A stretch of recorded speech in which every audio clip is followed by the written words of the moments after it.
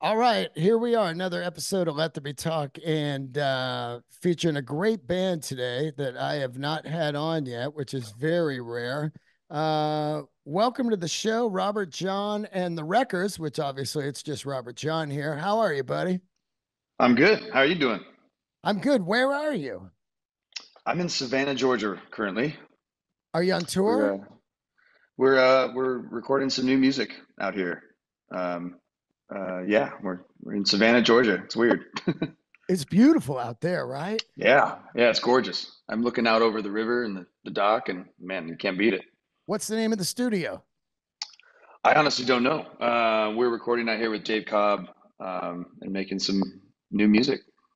Oh, you tell that fucking Dave Cobb that I've been trying to get him on this goddamn show for seven years. And, you know, Jay Buchanan is one of my Yeah. best friends. And also, I've had the War and Treaty on. I've had on pretty much, uh, you know, uh, um everybody that he's been producing over the years.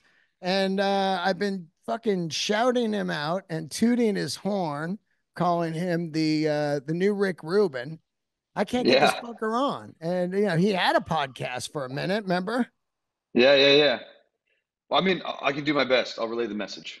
Thank you so much, man. I'm a big fan of his and and uh I love what he does and he's got a great great fucking track record Yeah, and um wow, Savannah. Now his studio's in Nashville though, right? yeah, um, yeah. It's switching things up a little bit. Oh, you look all mysterious there like, yeah. You know, I I don't know. I don't know what I can say. I don't know what I can't say. You know, he's Yeah, uh yeah. he's a mysterious guy. So, um, but yeah, we're here in Savannah, Georgia, and we're making some new music. So we're it's great. Now that's interesting because you're here to promote your new record. You know, it's just Yeah, about to come out, Red Moon Rising, and you're already recording some new stuff. How does this happen? Uh, how does Cobb find you and all of that? Oh man, if if if I knew all the answers, I would let you know. But you know, I mean, we recorded Red Moon Rising last year, um, and it's you know it's finally coming out in the in June of this year. So it just seemed about you know the right time to to get back in the studio and and start working on the next one. Um, and then that way this one can come out next year too. So we're always working, we're always touring and and writing and playing music. So part of the progression. And does does Cobb find you, or was I mean, obviously, if you're in a band right now, you really want to work with Dave Cobb, in my eyes and ears, Yeah. um, because he um, he knows what the hell he's doing, and you know, uh, I believe he did the uh, Stapleton records, and Yep. those things are goddamn masterpieces. And the stuff he's done with Rival Sons is just unreal. How do you seek him out, or does he find you? Yeah, you know, I mean, I I think we've known his name since Rival Sons had been working with him for so long, and um, so the name was always there. And then throughout the progression of time, you know, it's just, you know, Jason Isbell and and and Chris Stapleton and you know everybody. Um, we had a we had an opportunity. Um, we got connected through some some various channels uh, to do like two tracks with him uh, last, man, I think it was a little over a year ago now. Um, so we we got to do two tracks and, and it just it worked out so well. We wanted to do like a record, and so it, it just took us this long to uh, finally figure out the scheduling and figure out how it works. And, and now we're here, and um, yeah, hoping to make the best record we can. Well, it's interesting your band. I had kind of uh I was kind of hip to you guys on that Do You Remember song in 2020. And of course, I'm a a huge Allman Brothers and roots rock, Americana rock fan. I played that type of music for, you know, a many, many, many years, but it didn't really stick to me. I think at the time there was just so Sure. much out. I heard the song, I go, oh yeah, yeah, sounds good, and didn't really, um, you know, dig in. But it's wild to think that you guys are an Orange County band. I don't know where you live now, but a Los Angeles, Orange County area band. Um, and we're I still had, there. uh, yeah, I'd never seen you. And what an interesting place to start the style of music that you're playing. And uh, so what is the ground floor of that? Were you were you playing the Roxy and the Whisky and all that shit back in the day, 2011? I mean, we we played them, um, but we we we took like a hold to Europe um, early on, and uh, we kind of put all those eggs in that basket because we were seeing growth and and and it was working for us. We were touring the states and then playing in LA before that, and just couldn't figure it out. You know, like we could only go to Nebraska so many times, and and uh, you know, uh, playing LA was always just a, a crapshoot sometimes. So we we tried something new out, and we started going to Europe in 2015, I believe, and uh, we just kept going out there and kept building a fan base out there. And now we're going out there, you know, two to three times a year for different stuff, and you know, taking a roadmap from from other bands that we were looking up to, like the Suns and everything, and seeing you know success that they had over over the seas and everything. And um, yeah, kind of. I, we still don't play Los Angeles very often, if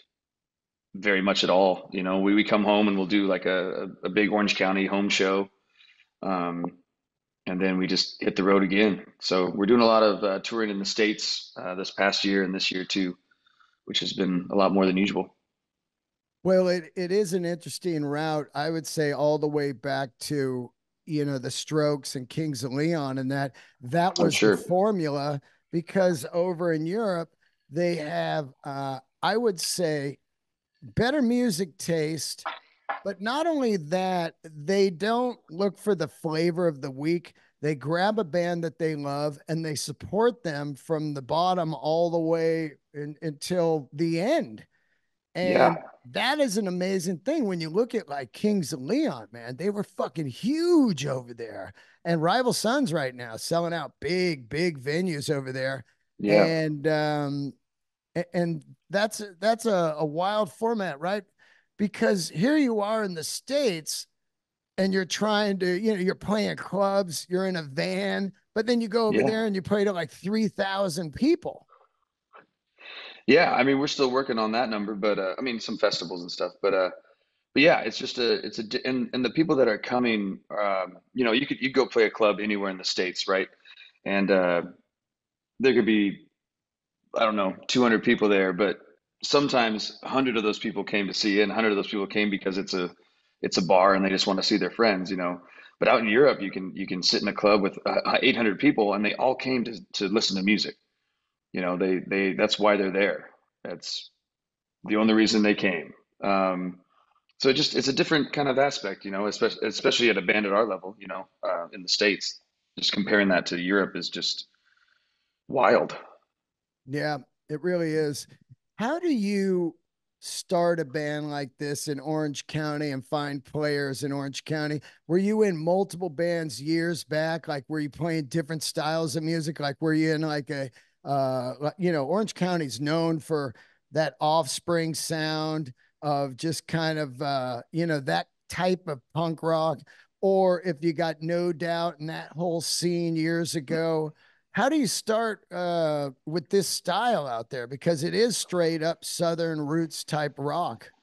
Yeah, I mean, everyone in the band was playing in whatever bands throughout high school and everything, and and uh, a lot of punk rock and hard rock, and um, I was a drummer in like a garage rock band for years. Um, we were all playing music everywhere that we could, you know, and um, but when we kind of started Robert Jon the Wreck, we were we were just writing songs that we enjoyed and then playing them how we like to play them. Uh, we didn't sit down and say, "Hey, we're going to do this Southern rock thing because no one else is doing it around us." Um, whether or not subconsciously that's what was going on or not, but we just started playing how we loved playing, and uh, you know, started playing with the slide guitar, which I wouldn't say a lot of people were doing in Orange County, and that kind of people hear that slide guitar and they hear like a, a soulful rock song and they don't know where to put it. They put it into Southern rock, and then uh, which is fine. You know, I think it helps. I think it helps people listen to music when they know where to classify it Oh yeah. in a sense. Um, so we're we were always fine with it, you know. Um, and then people started hearing our music who didn't come to our show in Costa Mesa, you know, or Long Beach, and they're like, "Oh, well, this, these these guys have to be from Atlanta or or Georgia or you know something like that," and then they find out that we're not, and it kind of throws them for a spin. They, have to figure out why we're playing this music, and uh, honestly, we're just doing what we love to do and playing the music we love to play. It's as simple as Yeah. that for the most part. I mean, you could be doing the hardest thing um, that a band could possibly do play your style of music and be uh, living in Orange County, you know, Southern California, and not moving to like Nashville or Memphis or, you know, something like that. It, I mean, that's just the fucking hardest. You know, you're like, hey, uh, this is what we play. And they're like, what? You know, I mean, Yeah, Black Crowes are playing here uh next month, and that's the only room we have for this type of music. Yeah, right. Yeah, it's it's wild, and we we do a lot of touring in the South, and uh, you know, Orange County is probably the farthest away you can get to Savannah, Georgia. You know what I mean? Like it's uh, so we've we've kind of figured out a process of of kind of where places to leave the van, so we're not driving cross country for we're not just driving through Texas every every month, and um, yeah, you know, it's it's we we have our our strong footing in Orange County, you know, kind of where we grew up and the people we know out there, and we always come back and play there, and you know, we're we're playing everywhere as much as we can, but it, we definitely have a stronger pull as far as stateside goes, uh, you know, in the in the southern states, which is well, great also for you're us. We love it picking down the there. you're picking like the most expensive place to live on the planet, you know. So that's got to be an interesting thing because do you guys uh, most of the bands I have on work jobs when you're not touring? Is that what's going on? I mean, we're we're on the road so much, it's hard to it's hard to grab anything when we're home, but if we're home long enough, we'll we'll do we'll do gigs here and there, different different clubs and, and bars and restaurants or something just to just to add to the fire. But no And day uh, job. no no real day job. Right. Right. Now, I, I did notice something, and I, I knew this was going to be a case with your band since you've been together around since 2011. Multiple members uh, in and out of the band. And I, me being in a band for years, I understand how fucking hard that is. And after two, three runs in a van, some people start to tap out, you know? Yeah, Yeah. for sure. Yeah, it's a war out there, man. And it's uh you get the girlfriend that's like, Are you guys going out again? You came home with no money. What are you doing that for? You know, so let's talk about that. Um, you lose members and then you got to find new guys and it changes the chemistry and everything. But it seems like each time you got members, as I watched videos and live shows, the band got better. Yeah. Um, I, I think the band has continued to get better through all the all that stuff. I think it makes us I don't it makes us in a in a way push the envelope even harder than we were pushing it beforehand. Um, and you know, it, it it it's it's fucks with your mind, you know, when it happens at first because you're like, this is it, like we're moving this forward, and you feel like it's almost like crashing down on the ground when it happens. And um, but part about being in a band is is that you have the other guys in the band that are together and that want to keep this pushing forward because Plan B is is not something that we're interested in, and uh, and we've we've gotten I would say super blessed. I wouldn't even call it luck. Super blessed to have some guys around us to be able to call on, and, and you know now they're in the band for the past seven years. Uh, we just got a new keyboard player who's been in for about two years now. The other guy went Um, to Toto. yeah, yeah, our old keyboard player went to Toto. Yeah, He went for that check. He's like, whoa, pretty wild. yeah, Toto, man. Here's here's here's a check. But every everyone every every move we've made in that in that realm has been only pushing the band to a different level and and pushing it higher. So, but at the time, you know, at the time, your mind goes into like, what are we gonna do now? Uh, you know, this is this is a key part of what we're doing. Um, so I think that what we have right now is is has been the most cohesive and the the best thing moving forward that we could imagine. And uh, you know, making another record with this group and and uh, well, I'll tell you keeping what, on, keeping on. the guys that quit, they're not making a record with Dave Cobb. It's true. Fucking, you know, and that'll that'll fuck with you too, man. It's like the guy that bought the lottery ticket and threw it away by accident and had the winning numbers on it. And then he goes looking for that fucker for years. That ticket's around here somewhere. I uh but uh, I, yeah, Every, everyone everyone made their choices uh, for which I feel like for themselves, um, I which is it. which is a good place to be, you know. It's not for So everybody, man. I've done it. I've been on the road 40 years now. Uh, it's not for everybody. And uh, it takes a certain person and that crazy mindset of like constantly searching for that thing that's in your head. I want to get the best joke. I want to get the best song. I want to kick ass for these people that are having hard times out there and need some uh, escape, you know? It's all kinds of things. definitely. Now, It let me It takes let me a yeah. strange person to do what to do what we do to to be in the comedy world and the music world, just the being on the road constantly and city to city. It, it's not something that I think is a very normal mental space to to live in. Yeah. Yeah. Now, I'm 58. I don't know how how old are you, by the way? I'm 35. 35. That's funny, man. You get a beard like that. You could be 45. You could be 28. You could be a hipster living up in uh, Silver Lake.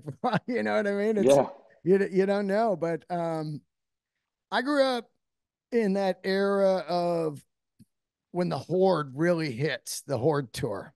Now that was a tour that was uh kind of a, a version of Lollapalooza, but more Hmm. roots rock inter, you know, intertwined. Uh, people like, uh, you know, Rat Dog, uh, Blues Traveler, uh, Mother Hips, these type of bands. Black yeah, headlined one year, so it was a, a, a very successful tour. But there was some bands out there, and um, one of them nobody really knows who they are. And I listened to a lot of your music, and it really reminded me of this band called God Street Wine. They God were, Street Wine. yeah, they were a band from the 90s and they were fucking fantastic. Everybody's got that band that's like, you know who should have been huge? Such and such. Yeah, right. But these bands, God Street Wine and another one from Sacramento called Sweet Vine, were some of my favorite unknown bands. They had record deals from Columbia, big deals and shit, but they just never hit. But um, your band really reminded me of that and that era of me out touring all over, which was almost kind of it wasn't college rock in the Jane's Addiction, but it was college rock in a way of like Blind Melon and Blues Yeah, okay. Traveler. That was a heavy college rock era too. You'd play these colleges like Santa Barbara, and thousands of people would show up, uh, like a street fair, and just go Yeah. crazy for local music. But you can't beat that then. No, no, but it's just wild that that was just what what that was back then. And I kind of feel Yeah. that going on now with people like Marcus King and Neal hmm Francis and uh, these groups, yourselves, uh, out there playing these cool festivals all over America in the summer. Uh, you know, like BottleRock and Napa and this Yeah. shit, where people really come out for the songs, man. You got some fucking songs. Thank you. Yeah, it's, something that I think we we really tried to focus on a lot more in the past few years. I mean, I, I yeah, I would even say, um, you know, like I think that whole COVID thing kind of let us sit down and I don't know, focus a bit more on the actual songwriting aspect than getting into the room, having a sweet jam, and just kind of pushing it out. Um, but yeah, well, thank you. Yeah, It's now it's uh, I think I think songs are. you know, you, you could you can listen to a band and, and you could feel the groove, and then once you feel that groove, and then you look at the songs a little bit closer, and uh, you know, there's there's bands out there that that you're like, man, that their songs are even better than the grooves. You know, yeah. you you know, you go for the feel, but like you're you're immersed in like just how good the songs are. Not saying that's us, but uh, you know, that's something that I look to in in listening to bands and everything. Well, I think a band that uh, comes to mind when I listen to um, kind of uh, roots rock Americana that a, a lot of people would slag on, but now after all these years, kind of looks back and go, "Holy shit, these guys got songs." Was Hootie and the Blowfish? Yeah, they really uh, got a beat down after they got so big. But uh, I mean, that dude could write the shit out of a song. There was a song on the third record called "Only Lonely." That I thought was one of the best ballads I've heard in 20 years, you know. Um, but that was a whole fucking sound and of of all these different groups, spin doctors, all this stuff. And I feel like it's coming back and it, it's semi jam, you know, you got the jam scene, but Yeah, the difference is these bands have songs. Marcus King, he could play the shit out of a jam fest, but he's got the fucking songs. You guys got yeah, songs. Neal Francis has songs, but you also know how to jam, you know, that's the key thing.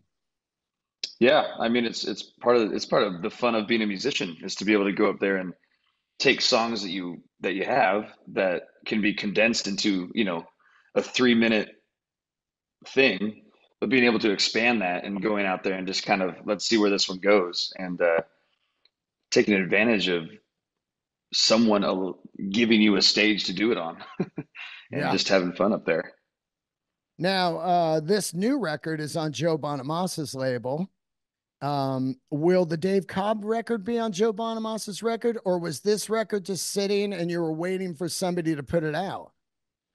No, we uh we didn't plan either. Like the, the yeah, it's kind of weird uh, talking about one record and doing another one, but uh yeah, they're both with Journeyman Records, which is Joe's label. Um, they were both we we we kind of got in with with them and then made the plan of doing both of them. So um, we're we're excited to be with hanging out with them, you know, and and uh, they've been great, and uh, it's nice to have a team behind us, and and you know, just people working together and figuring out the best avenues and best ways to navigate the internet I, I in think it, uh, I, releasing and everything. I think a key thing with your band and with Marcus King that I see more than any band and Rival Sons is you guys are like a 70s band where you're putting out records every year. You know, I think the big fall of uh, bands in the early 2000s was they put one record out and then five fucking years would go by. And then here comes Yeah, another record. By then you're like, oh, those guys, but you guys are constantly recording and uh, putting out records. Super prolific, man. Um, was that like a plan? Like, hey, we got to keep writing records, even if we put them out ourselves? yeah. I mean, we were doing that for years before, you know, we had any sort of label or any sort of support. We were, it kind of happened naturally for us. We were just, you know, we we'd get in the room, we'd, we'd write a handful of songs, and we'd go figure out how to record them. Yeah, we were we were doing kind of a, a record a year when we started. Just it just kind of felt natural, um, you know. So we we get a batch of songs and record them, and then do whatever type of independent touring that we thought we could do. Um, and then you know a, a year goes by, and then hey, let's get a new batch of songs together and record another one. So we were kind of doing that already. It was kind of our our structure, and what kind of made that happen is that every time we went back to Europe, we needed something new on the merch table. Yeah. Um, you know, we go out to Europe, we tour on that record, then we come home, figure out a new record, go back out there, tour on the new record, and that's kind of what what kept that steamroller going. Um, and and now it's just so it seems it seems natural now to to do a record a year. It just nothing of it, you know. I mean, besides figuring out when to write the songs when we're on the road as much as we are, but um, you know, there's, there's always learning and there's always ways around things and, and anything that keeps us pushing is always a good thing, in my opinion, instead of getting too uh, comfortable. Well, I mean, you know, there's the, I think one of the big downfall falls of bands these days is they're like, well, we're not going to make any money. It costs so much money to make a record, which is totally false now. Uh, why, why even do a record? Well, I mean, you should do a record because you're constantly pushing yourself to try to write some incredible new songs. And you never know when that one fucking super gold nugget's going to come out. And then next thing, I mean, look, let's let's be honest. If Stapleton or Marcus King or Rival Son, any bands I'm listening to didn't put new records out, I'd be bored with that first record a long time ago, you know? Yeah. And it drives it drives you as an artist. Like instead of going, all right, let's go out and play fucking Oh Carolina again, you know, it's like that shit gets crazy. Yeah, you know, I mean, it it does help. It helps a lot with with us playing live too because we're we always have new songs that people want to hear. Um, so the, the the live set never gets stale because we're always trying to keep up with it and trying to, you know, learn the new songs that are coming out and and and play as much as we can. You know, um, granted, there's always the songs that are always in the set for the most part because people come to a show and if we don't play them, they're sad. But um, you know, it's everything's kind of working in in in this giant cycle. You know, it's like the new record keeps keeps us pushing and, and keeps new songs out there, but it also keeps us working as musicians on our live set so that that doesn't get stale at all. And uh, it's yeah, it's a giant giant wheel that keeps on spinning. And um, yeah, but and like you said, I mean, if if if we were doing this solely for the money, we we would have quit a long time ago. Yeah. Oh, But uh, you know, there's something here. something to, something inside of you that keeps you keeps you pushing, keeps you moving, and and surrounding yourself with the people that have that same passion and that same drive. Are you familiar with the Canadian band Sheepdogs? They're friends of mine. Yeah, I know the name and I've listened to them, but I I don't I don't know them personally. But Right. but yeah, It's interesting. You guys are uh, a very similar flavor and stuff. Uh, it, it'd be a cool tour, tour to see like Marcus King, Rival Sons, you guys, and the Sheepdogs, you know, like this kind of uh, this flavor of uh, I, I don't even like to say Southern rock. I only say it like you said, if you don't give it a label, the people won't give it a chance. You know, like, well, what's it sound like? Well, they they've got good songs. Just go listen. Oh, that's not good enough. I need exact fucking description. Is it yeah. 73 Skynyrd? You know, or is it No, it it's 90 72. Ah. or is it 98 Black Crowes? It's true, and and the Europeans will tell you that too. I mean, they're I mean, in in the best way possible, but they'll come up and they'll be like, "Hey, you guys sound exactly like the Lynyrd Skynyrd in '74," and you're yeah, like, "It's awesome! I'll take that all day," you know. yeah. Or I, I don't know exactly how to reference that or like what that means, but but it, it's an awesome compliment. Now your band's got a lot of uh, dual lead flavor. I just had Duane Betts on, who's who, by the way, has one of the best records I've heard in a couple years out. His record is insane. I don't know if you've heard it. And rest in peace, Dickey Betts.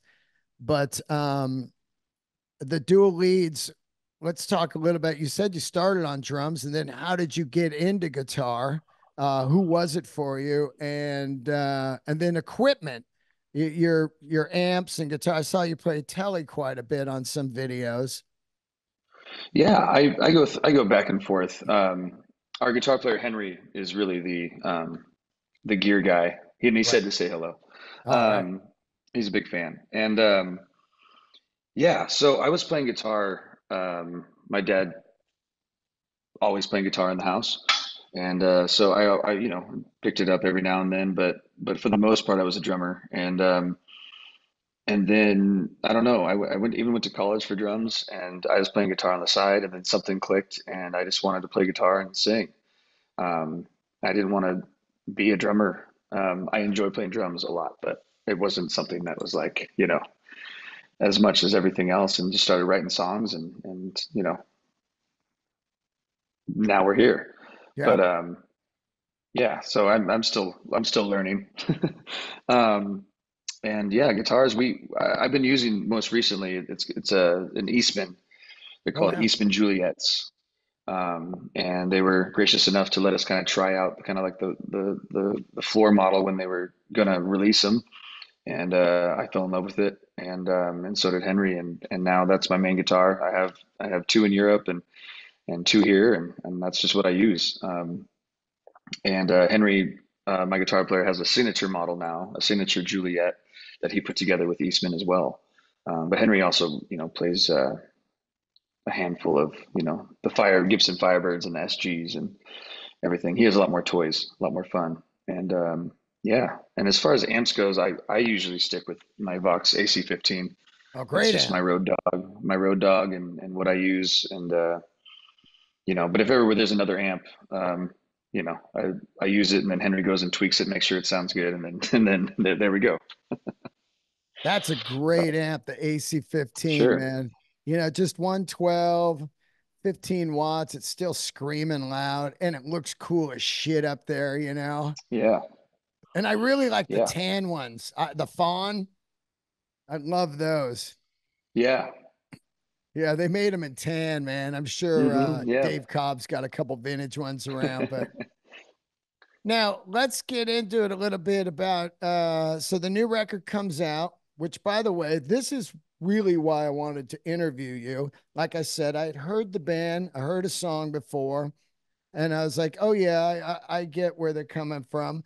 But the new record, they you dropped a single called "Give Love," and you know, immediately I love this song, and this is the type of tune that I think, as corny as this sounds, uh, is something that we really need in this era of this insane America right now of these fucking people battling over over politics. It's just it's brutal, and people Yeah, have forgotten about.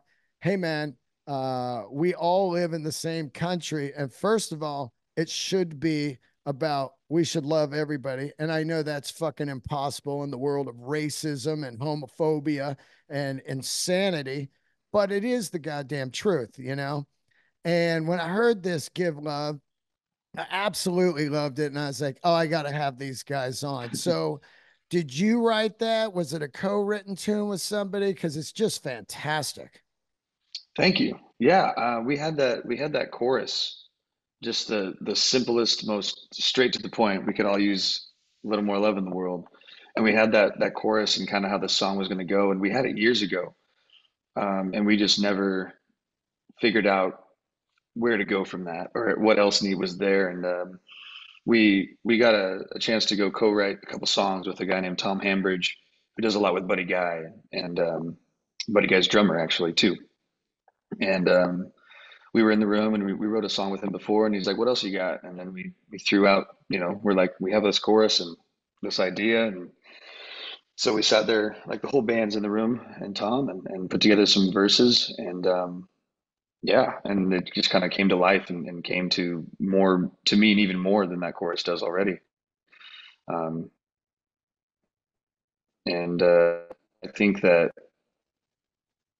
you know i, I think not every song we have is is a is a statement for everyone to you know love each other but course. Of um course. I think we take the time in, in making sure that those, those certain those yeah those certain songs that that need that attention and that that are that powerful um, you know give give them the the time and space they need and and um, yeah I, it's it's my favorite track on the record for sure That's an interesting writing uh, partner. Was that recommended by a, a label or something? Because Buddy Guy is not known for radio. He's a, a blues guy and stuff. And you go like, well, we want you to maybe go write some tunes with this guy that works with Buddy Guy. I'd be like, oh, well, you know, uh, we're going to write some songs with, you know, uh, radio guy, you know, or even Dave Cobb, because Dave Cobb knows the fucking world about songwriting, you know? So what was that yeah selection about? uh, we were in Nashville we were we went to Nashville just to honestly just to do some co-writes with people and um, it's not really a, a huge thing that we do we don't know a lot of people um, so uh, he was he was suggested um, from our friend Sharon Uh, Sharon knows everybody in Nashville, and and we're like, yeah, let's do it. Um, so we just, you know, we, I think that we're always open to figuring stuff out, and uh, you know, we're still learning how to do those co-write things, and um, it's just we didn't. It, we didn't even it didn't even phase us you know what, what has he done? Who is he? What everything like that. It's just yeah let's go there. Let's see what happens. Um, Co-writing, and it, it co-writing is worked out. bizarre, right? It's yeah. because right, yeah it's it's a, such a Nashville machine. That's what do people do. Oh man, I went over here and I co-wrote these here. I mean, Marcus King did it a lot, you know, and it's um I always tripped on it from being a songwriter and then a joke writer now was um, I always felt that when I would go and work with some, if I was if there was another guy in the room, I would always kind of be like, fuck, this is slowing down my weird process of when it comes, man, it comes and get the fuck out of here. I got to find this, you know? Yeah. It's definitely an art form and it's it's definitely uh, an interesting thing because we, we write everything with the band. So the five of us are in the room and we're all throwing stuff up and, and figuring it out as we go and it's comfortable and we get each other and and uh, you know if someone says that sounds weird, it's like there's there's the respect there where you're just trying to make the best product. And then you throw someone else in there and uh, you know uh, besides like certain people like uh, my buddy ian colin is writes with us all the time and every it's fluid and everything but you you know someone you had never met before you know you don't want to step on toes because you don't you know you're just meeting this person for the first time and and also writing a song which is something that sometimes can be very personal uh, to how you work and, and who you are. And um, it's definitely a strange thing but and that's why we, we we've been trying to do it more because I, I think the more you do something uncomfortable the, the better you get at it and the the less uncomfortable it will turn into being once you do it more. Um, but yeah you know we're, we're always open to new things and, and trying new things out and and finding the best songs that are out there. You just got to put in the work and find them yeah, yeah. You know, now that I look at it, look back on it, and I look at some of the uh the bands that I do listen to, the War and Treaty or Marcus and and yeah, great band. Yeah, and and Rival Sons and people like that. When you think about it, you're like, well, shit, man. Um, that's almost the weirdest magic I've ever seen. You're in a room with a stranger, and you know, lightning's hard enough to strike, but then it strikes with a stranger and you. And then also sometimes people have ways. I know when I was writing on guitar, I was pretty, you know, simple. I was way into Wilco and Tom Petty. So I was always just looking for the big hook and yeah. sim- simplicity of getting in there. But sometimes when you write with people, they go, Hey, try this chord that you've never played because you don't know how to fucking play it. And then you're like, Oh my God, this has way more depth it went somewhere I would have never gone, you know. So yeah, that is a cool thing to do, you know. Yeah, yeah. And I mean it's you know, you we're already in a band. You know, there's already five ears, you know, I mean, well, ten ears, but um, you know, five guys with ideas and everything and and uh it's really it's really easy to to either overdo it, you know, change something up so much that it loses that magic that you had in the very beginning. Um, it's also you know really easy to do the opposite where oh well this this seems fine. But you didn't think about that one thing that could have made it a little better. It's uh it's songwriting's an interesting art form um, yeah.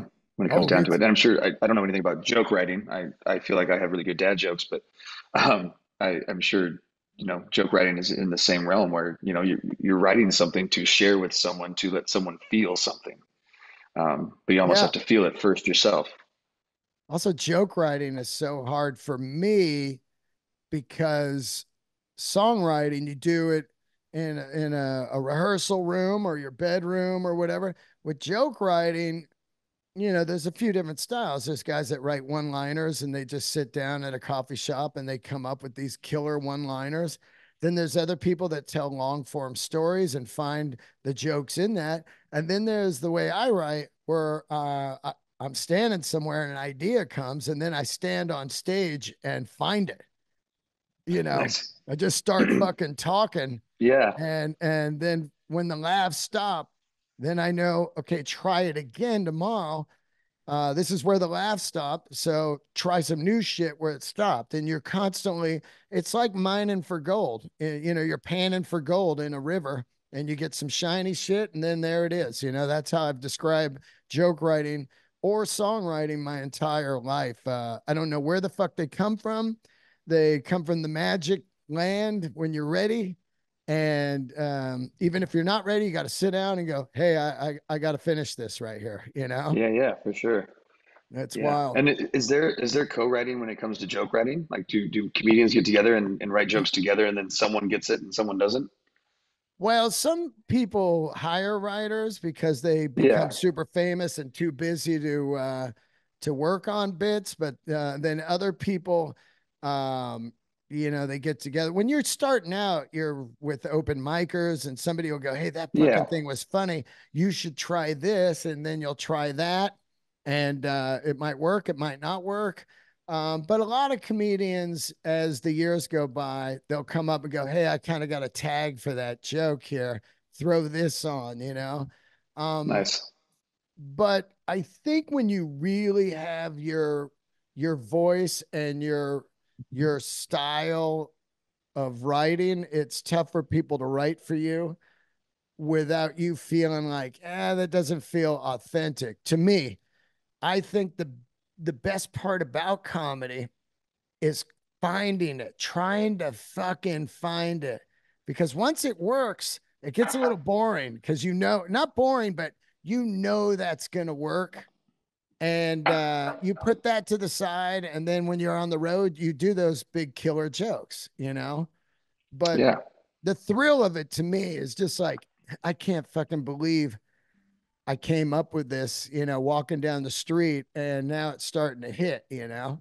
yeah, Are you a comedy yeah. guy? Do you go see comedy at, at the Irvine Improv or? I have. I would like to do it a lot more. It, it you know, um, and it's uh, yeah, we we enjoy it, and um, it's just hard to find the time to actually, you know, when we're home for two weeks out of a time. You know, it, it's how many of those nights do you get Yeah. to do something or spend it with your family? Um, uh, not not really that you get to go out, but you know, like, do I want to spend this with my family or go out and do something? And usually, since we're leaving in two weeks, it's like family first for the whole time we're home, and then we go back out. And um, yeah, there's on when we're on the road, we always have Mondays off usually, and Mondays are not the best night to go see comedy. I, I've found out. Yeah. Yeah. Um, Yeah. But yeah, we You're right. we but we were we were where were we? We were up in uh, it's like Snowmass Village, um, up in Colorado, and uh, you know there was there was a comedy night, so like we had the night off, so we went down there, and it was just like a locals comedy night. It was a blast. Love Yeah. it. Do you watch uh, Netflix? Uh, uh, you guys, you don't have a tour bus yet, right? You're in vans, No, we're in the van, baby. right? Yep. Um, do you watch comedy on Netflix and stuff like that? Yeah, yeah. I try to try to be somewhat relevant in the world and and see the new specials here and there. Yeah. Um, our bass player Warren's really on top of it. Uh, I mean, he sees every special that comes out, every podcast that's out there he listens to, and and is really uh, up to date on on on shit. Yeah. Yeah. Oh, yeah. I mean, that's like Dave from the Rival their bass player. He loves comedy, you know, and uh, he's all over it. He goes to see it when he's home at Zanies in Nashville. Uh, let me ask you something. You Nice. recorded at Sunset Sound, uh, one of your records, I believe. Fantastic fucking studio. Uh, the infamous Van Halen and all of that done in Sure. there. Um, how was your experience in there? You know, uh, what was that, 2020 or something? Oh man. Um, I can't even tell you what date it was. I mean, we Yeah, we've done stuff. We we did we we did two tracks in there with Joe Bonamassa and Josh Smith, and two tracks in there with Kevin Shirley. Um, and then we recorded a full record there a long time ago, before 2020. Um, but I, yeah, but but as as far as Sunset Sound goes, it's just it's in a really kind of a weird spot in LA. Brutal homeless And area uh, now. yeah, yeah, it's just it's just funky. And uh, but once you go through like this gate, you know, to actually get in there, the little corridor, then you're like you're trapped in this uh, I don't know, like a weird little vortex of like thinking about everything that's been done there and and everyone that I mean Van Halen and, and Prince and everything, and you're just kind of enraptured in in this vibe. And at least that's how I try to kind of get, and I kind of go, cool. We're not in the middle of homeless LA right now. Like we're we're at this studio, and that's all we need to worry about. Um, but yeah, the rooms are great. I mean, they sound killer. The uh, the people that work there are phenomenal, and uh, it is really comfortable for us. I mean, we've done plenty of different sessions there, and and it's feels like it doesn't feel like you're walking into a, some sterile, you know, uncomfortable studio, it, it feels great. Oh, well, I always say any studio that used to have a lot of cigarette smoking in it, it it's got something good. yeah, I bet. Oh, Can I hear, you some, hear? I hear some rock. Can you hear that? Yeah, yeah, all good. Um. If, if it's fine with you, I'll let it, I'll, Yeah, let it, yeah. I'll let it go, or I can Well- move. well, we'll wrap it up anyway because uh, I don't I don't want to keep it too long, but um, I want to talk about the new record. Okay, so it's coming out uh, what June twenty fourth. I think it's June. I think it's June 28th. Yeah, okay, there you go. I'm wrong. Uh, yeah, I think it's Uh, June 28th. Some Yeah. great songs on there. Uh, Rager, Worried Mind, I love. Like I said, Give Love. One song on here that really hit me, and the Bon Jovi documentary being out right now, which also Bon Jovi, I think, wrote one of the greatest ballads ever, I'll Be There For You. Uh, this song, Ballad of a Broken-Hearted Man, uh, it's got a Jovi kind of vibe from the New Jersey era. And I'm not talking hair metal. Hey guys, Yeah, yeah, yeah, but, yeah, yeah. You know, Jovi, uh, if he wasn't in that hair metal era, um, I think that he would almost be, you know, respected way more as a songwriter, you know, because holy shit, could that guy write a fucking song? Um, Yeah. but but that song, um, "Ballad of a Broken Hearted Man," really kind of has a, a a Jovi vibe to me at the front, you know. Yeah, yeah, for sure. That, yeah, the and and that was that was just, you know, kind of how we put it together in the in the in the studio with Kevin Shirley. I mean, just kind of creating that uh that intro, you know, that like west like you can just kind of see like visualize kind of like a western or something and, and just kind of bringing it in. Um, but yeah, that was, that was such a fun track to put together, and um, you know, it, it's one of those one of those songs too that you did, you know, just lightning strikes and you're in the room and and it, it works and you, you kind of know it at the time and then once you you know once you actually record it it takes on a new life Now, did Kevin Shirley uh, produce the entire record? yeah redmond Wow. rising yep Wow. Wow, man, that's an interesting uh he's done a lot of records, uh, you know, I know Aerosmith and and stuff like that. That's pretty cool. How did black that come crows Black Crowes, yeah, he did yeah uh he did that by your side record, you know? yeah i mean it's it it was i mean he's done iron maiden i mean he's it's, he's done tons of stuff and uh he's he's really close with the journeyman record team you know and it was just kind of and we, we met him beforehand we've done these cruises the joe bonamassa keeping the blues alive at sea cruise and that's where we met everybody before I knew who Kevin was. Um, and so being in the studio with Kevin was just super comfortable. It was, you know, we knew each other. We, you know, it was just, uh, it felt natural in a way. It wasn't us meeting him and being like, oh, you know, we're going to record music.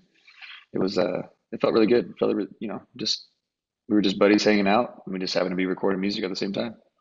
Did you record this uh record to tape or is it Pro Tools or how how do you guys record? It's Pro Tools. Yeah, yeah. Yeah. yeah. And Yeah. what studio? Uh, Village, Village Studios in LA. Oh, what a great Yeah. studio. Oh my god. Yeah, killer. Was- Oh, another another fucking iconic studio, man.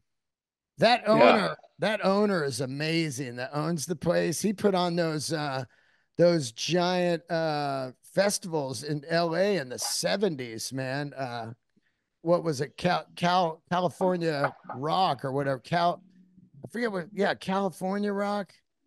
Cal Rock Festival or whatever. Yeah. Oh man, the guy, the guy is rock that owns that place, man. Unbelievable and great studio. Yeah, killer killer room. It's super. It was rad. Just a great time.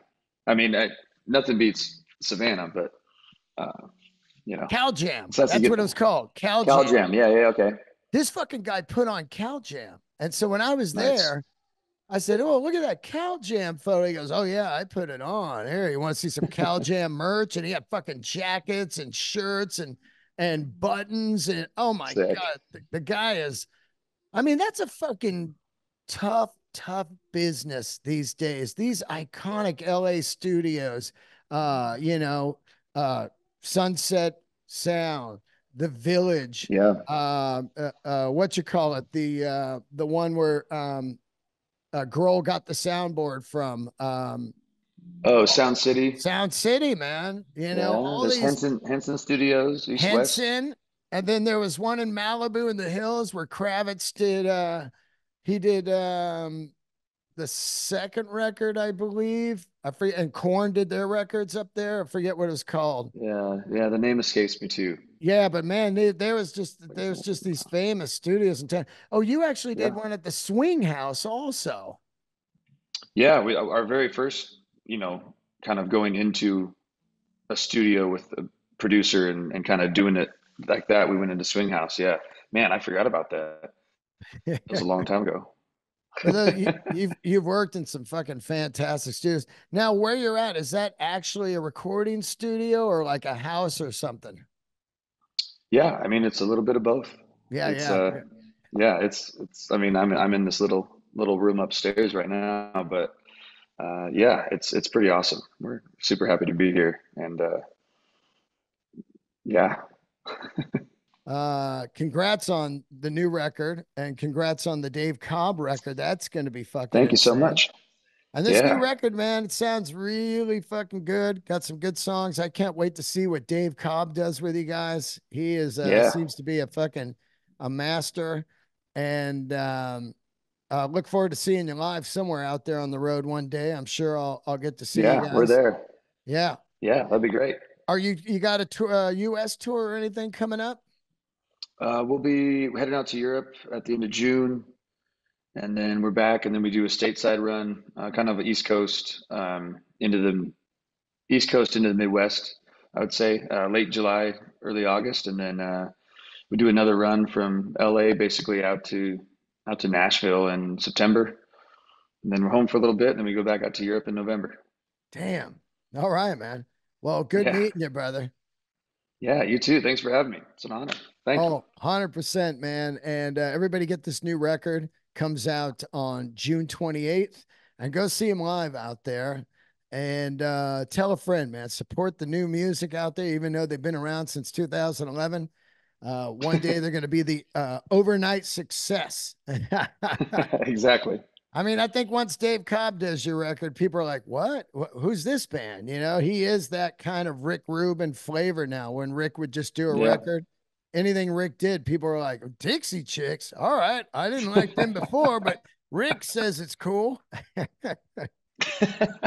we got to get the fuck I out don't know of why here. it You, keeps freezing on us. you got that Savannah internet, man. That fucking turtleneck. Yeah.